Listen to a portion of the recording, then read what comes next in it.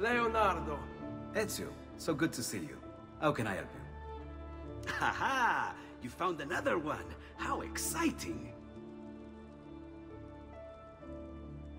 I just have to substitute this letter, and move this over there. I've got it.